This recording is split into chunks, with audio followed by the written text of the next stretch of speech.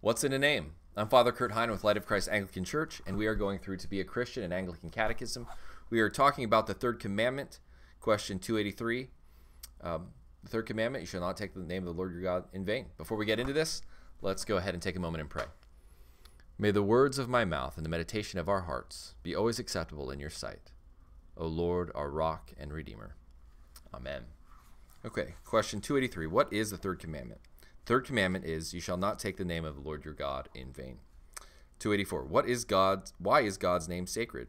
God's name reveals who he is, his nature, his character, his power, and his purposes.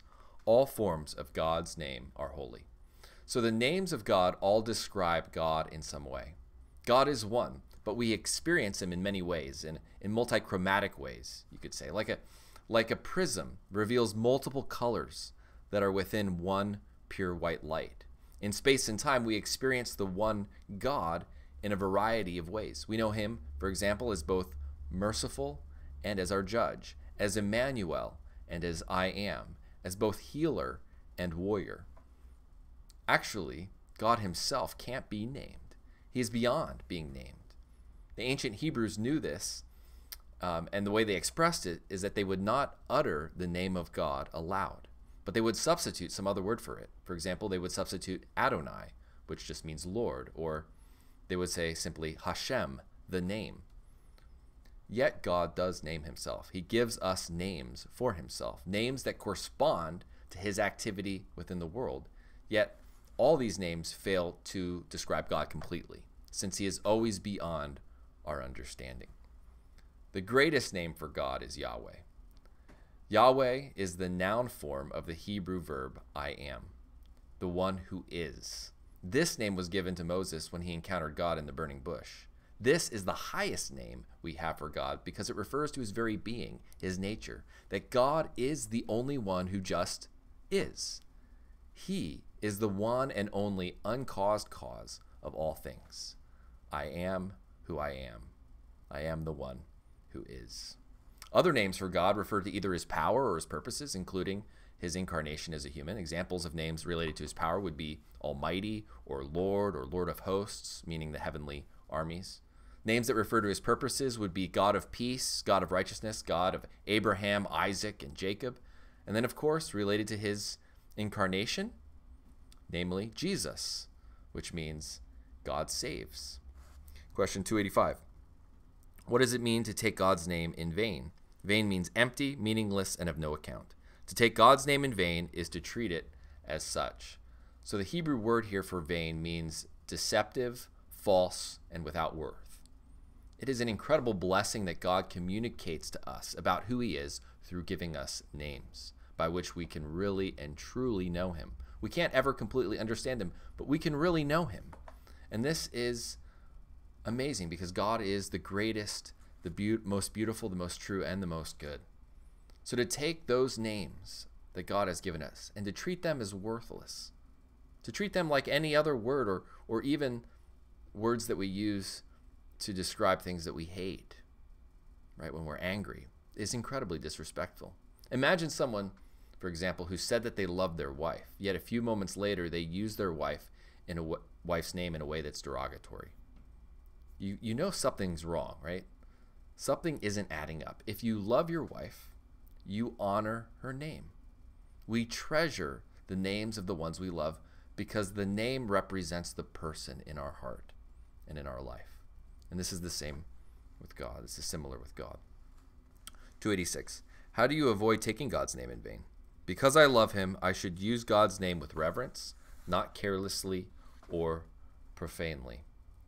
Due to our love for God, we use his name carefully, reverently, and certainly not as a substitute for profanity. 287. How might you use God's name profanely?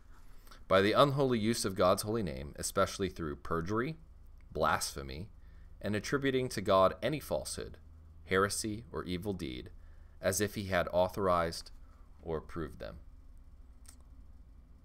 So, using God's name in vain isn't only about using his names as a swear word. We abuse his name, making it worthless, when we do or say anything in the name of God that is false or harmful. For example, when we take an oath and don't fulfill it, when we speak of God and who He is wrongly by teaching some heresy about God, misrepresenting His character, or when we take the name of God onto ourselves by calling ourselves Christians, right, followers of Christ, yet taking the name of God upon ourselves, treat others in a way that is unchristlike. All of this drags God's name through the mud and sullies his reputation in the world. Not because, of course, he's done anything wrong, but because we have. 288.